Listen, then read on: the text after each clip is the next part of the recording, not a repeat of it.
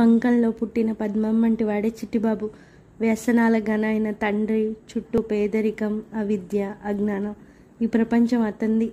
ఎదురింటి పంతులు గారు అతనికి అన్ని విధాల ఆదర్శప్రాయుడు. ఆయన ఇచ్చిన ఉత్సాహ ప్రోత్సాహాలతో నెమ్మది నెమ్మదిగా జీవితం ప్రారంభించి యోగ్యుడై సంపాదన పరుడై ప్రయోజకుడైనాడు.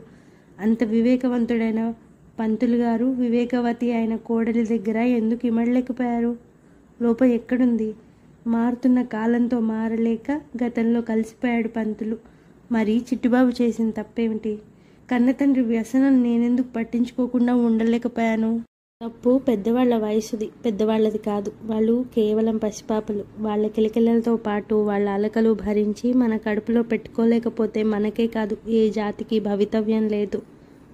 వాళ్ళ అంతరాలను అత్యంత పఠనీయంగా ఆలోచన రేకెత్తించే రీతిగా అందంగా మలిచిన మనోహర రచన రామచిలిక.